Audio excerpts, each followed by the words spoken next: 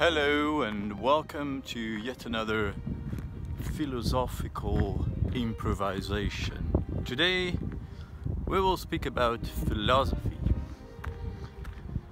Philosophy has had many definitions over the time and not so long ago it was considered a lost cause. Some astrophysicists such as Stephen Hawking, even claimed that philosophy was dead, which was, of course, but a privileged claim coming from a community, the uh, physicists and astrophysicists and cosmologists, who propose cosmologies and explanations of the universe that were once the privilege of philosophers.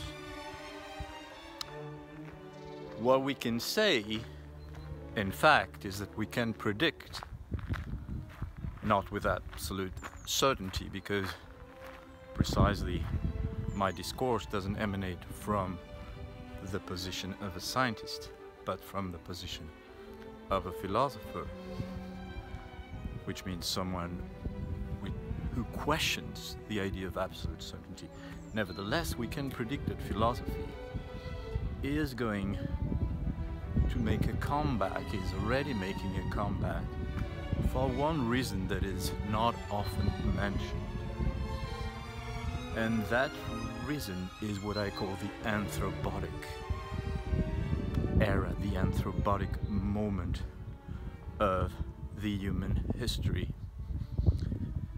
Today, philosophy is an interface. It is an interface between the human reality and the emotional reality and the computer world, the computer sciences. Philosophy functions as an interface because it is neither emotionally intelligent in the sense of manipulating the right signs and conventions of the effective states of humanity.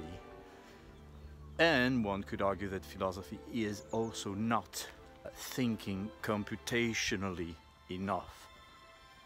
But precisely because philosophy is neither fitted for human discourse, neither for robotic discourse, automated discourse.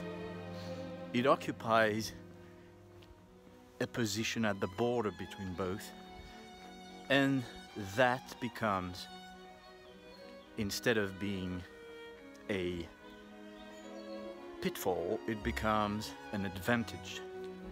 The advantage of connecting the computerized, the digital, and the human, which is what the 21st century will be about anthrobotics. That's it for today. This was yet another philosophical improvisation. And see you tomorrow. Bye bye.